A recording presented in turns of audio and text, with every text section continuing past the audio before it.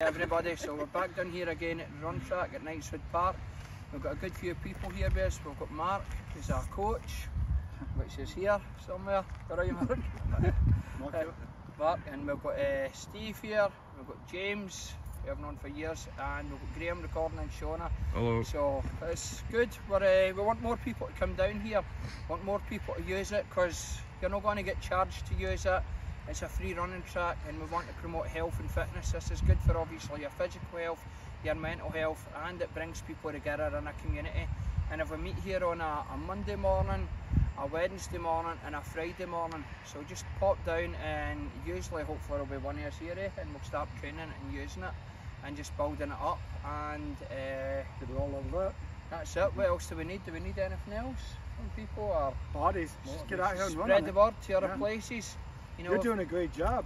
we're doing great as we You're can. doing fantastic. Thank I mean, six people. I've never had six people like here It's before. amazing, eh? It's great. So we want Really Prosper impressive. Glory to be down here. We want uh, Sports Forever Foundation, and we want people from Men Matter Scotland down, and we want people from Scotland. that's it, and the people from the run clubs as well. Get them in here. So get down here and start training with us, guys. So we just thought we'd share this.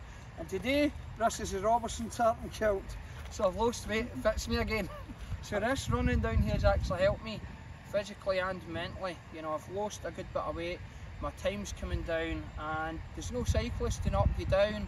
There's no people with dogs that are going to run in front of you like when you go across the canal. And I say the main benefit is there's nothing you have to pay. Well, and free. And here's a challenge for you. I I wonder who's the first man to break a five minute mile on this track and the first woman to break a six minute mile on this track. That's it. And if you're really Let's- tough, let's you try and get that. so track it, record it on here, and then just put it on YouTube or social media and put Knightswood Run Track so we can look it up and see it. But we hope to see you all soon, and thanks again to Graham for having the patience in recording this. Hasta la problem. vista, guys. Graham.